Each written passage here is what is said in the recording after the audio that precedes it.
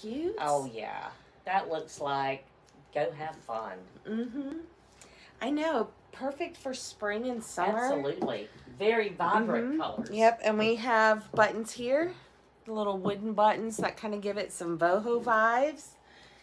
So I love this. Soft. I like the length. It comes down good in areas that I want it to cover. You can style this. I still have on my Zenana denim shorts. But how cute would this top be with the olive? You can get away with wearing the olive shorts. Oh yeah. Yeah. Those would look really cute. And also, you want to feel really snazzy, Look at that. this is the Connie outfit. The pink Judy Blue Barbers.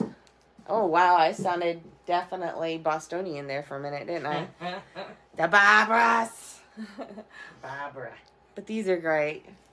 Yeah, too. I would be love them, and we'll talk about those. So, um, tell us what you think of this beautiful top by Lovely Melody. We have all sizes available right now.